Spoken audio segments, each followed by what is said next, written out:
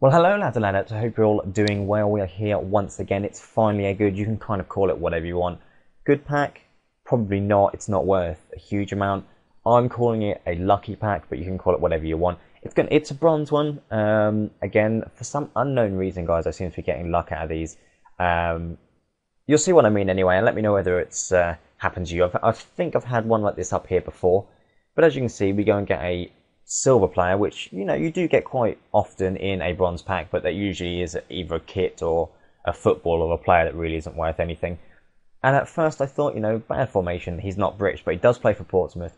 He has got quite good shooting, and he he is very fast, and he's worth between four and seven thousand. You know, each day, each day changes. So I'm not going to moan about that at all. I'm not going to obviously pronounce his name, but guys, let me know down in the comments below. Have you ever had a lucky pack?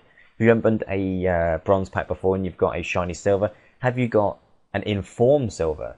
Um, that you know, if you've got a pack opening with a uh, where you get a silver inform or you get a silver a pro silver, like when I got my normal Danilinho, um, send it as a video response and post in the comments, and I will probably accept that video response. I don't usually accept video responses, but on this occasion, guys, I will.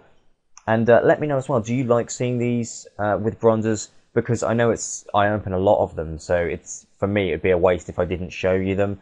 I know I've got another one with a bronze who's worth around eight to ten thousand that I've got to bring up as well. So let me know, guys. I mean, I don't have to bring them to you, but you know, I like to share everything that I do with FIFA or you know on FIFA with you. So if I make a, a big loss, like I did in a hundred thousand pack I mean, I like to show you. If I make a profit, like I did with Danilo, I like to show you. So let me know all that stuff, guys. If you did enjoy the video, if you have never seen this player before, because I've never seen this player before, make sure you drop a like on the video as well and subscribe if you're not already.